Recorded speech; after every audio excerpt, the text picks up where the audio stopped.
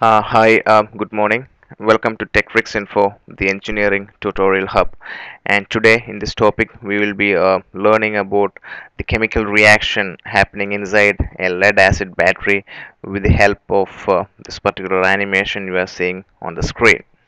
So, let's learn what's happening inside a lead acid battery. So, if uh, you consider this uh, as the casing of uh, the lead acid battery. Uh, here we have the positive plate that means the anode and here we have uh, the negative plate and that's the cathode and the uh, yellow colored electrolyte. That means it is the sulfuric acid.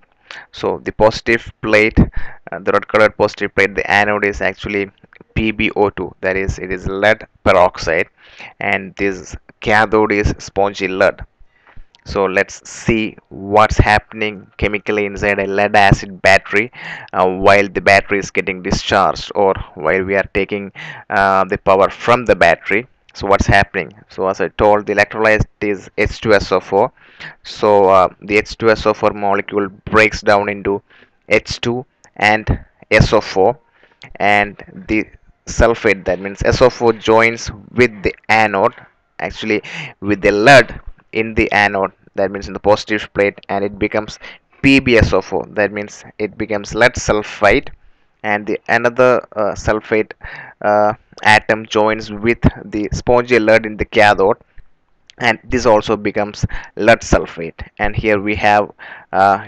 2H2 that means two hydrogen atoms left behind over here. Um, so uh, here this joins with the O2 here uh, in the anode and becomes water so what we have uh, inside a lead acid battery while the battery is getting discharged uh, looks like this uh, in the uh, positive plate. That means anode we have PbSO4 that is lead sulfate.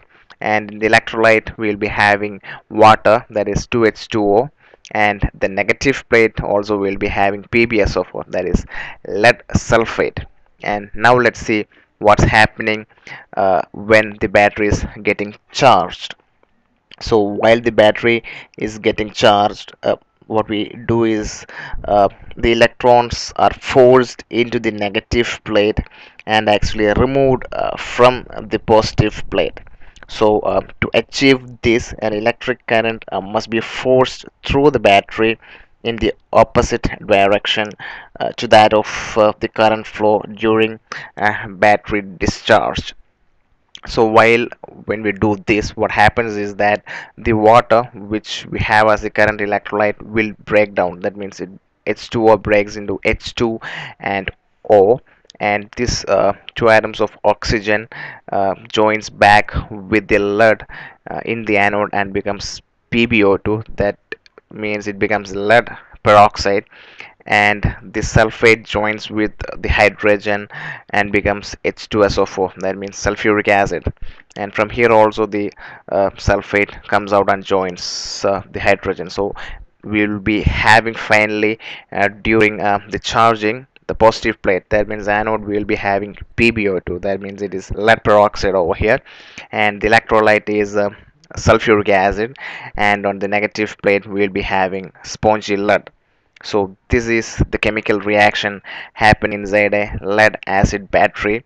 Uh, this is how a lead acid battery actually functions.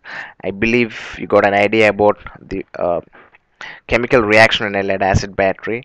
If you want to know more about the construction of the lead acid battery you can watch the video of the construction of lead acid battery in my youtube channel and also you can also uh, find out how the current flow is happening in a lead acid battery or how it facilitates the current flow. Uh, you can also view uh, the video how current flow is generated by a lead acid battery in my youtube channel. Uh, you can also see other uh, training videos in my blog and my youtube channel specified over here. Uh,